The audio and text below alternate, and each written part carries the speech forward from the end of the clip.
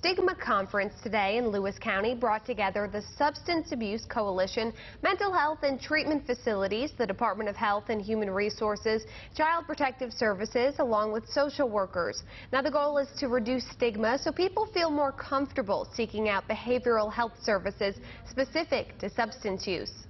And our goal is that we create the opportunity and the space for them to understand how to have the conversation and the dialogue with somebody in, in that stigmatized group, but also recognizing that we have a, a duty and a care to those folks to, to reduce the stigma. And if we can just impact a few folks here and there, we're going to reduce that stigma. And we can do better work that way. We can help more people. Another conference will be held August 1st at the West Virginia High Tech Foundation in Fairmont. Find a link to the Stigma Free website at WBOY.com.